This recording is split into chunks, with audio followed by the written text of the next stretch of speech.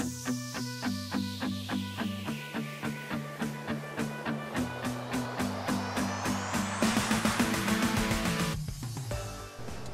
welcome back. Uh, in this video we'll be looking at worksheet number 2, part number 11. Uh, just like in the previous video, this one does have to be do done in two steps. I'm going to start by creating this shape without the corner cut out. Right, so this height here is two and a half, then over one and a half, then down one and a half, and so on. Alright, so I've got Onshape opened up. I'm going to click Create, Document, this is part 11.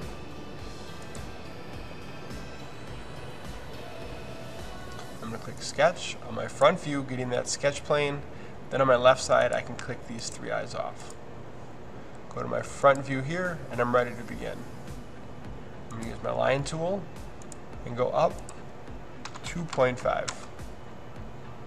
I go to the left, 1.5.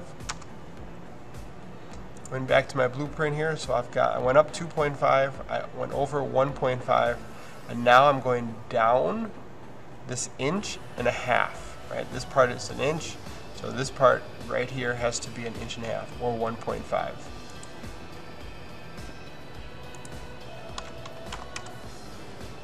It goes this way to the right, 0.75.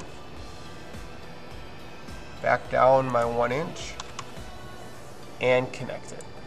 Right, giving me that gray bound object. Finish sketch. Go to my isometric view. The extrusion here, the whole length is 5 inches.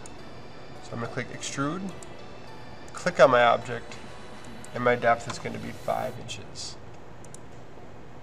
And hit OK.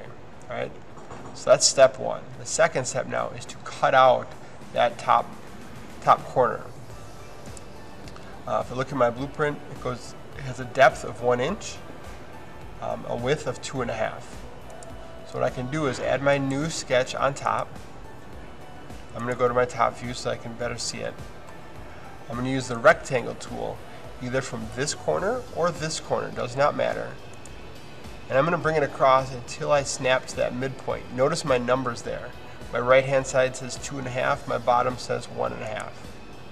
Right, it is all black already. I can hit finish sketch. Go to my isometric view. Click on extrude. Click on that part that I just made, but now instead of adding material, I'm going to remove it by my one inch. And there is part number 11 on worksheet number two. Thank you.